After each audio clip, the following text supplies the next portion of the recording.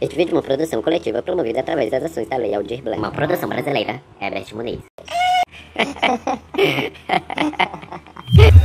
Salve galera, Viajante 091 aqui, conhecido na rua como MBM.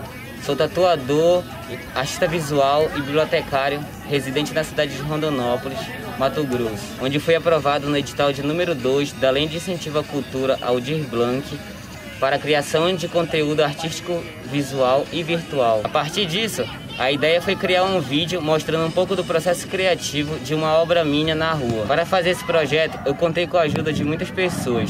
E eu queria deixar um agradecimento especial aqui para a Secretaria de Cultura do município de Rondonópolis, para o Lucas que emprestou a câmera, Ebert que fez as filmagens e ao David que auxiliou na edição do vídeo. Valeu galera, e é isso aí.